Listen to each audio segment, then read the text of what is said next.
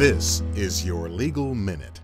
Maryland uses a very specific formula to calculate child support, and we use what's called the Maryland Child Support Guidelines.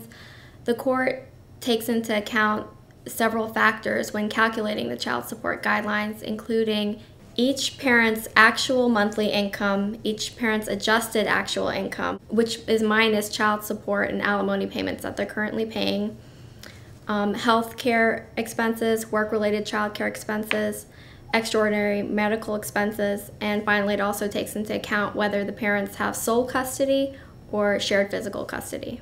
If a parent is not working but has the ability to work, the court may find that that parent has voluntarily impoverished themselves.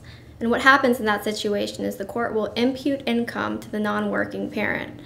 To do that, the court will look at their educational background and their work history and will assign a certain amount as their income. Unlike alimony awarded following a divorce, child support payments are not tax deductible.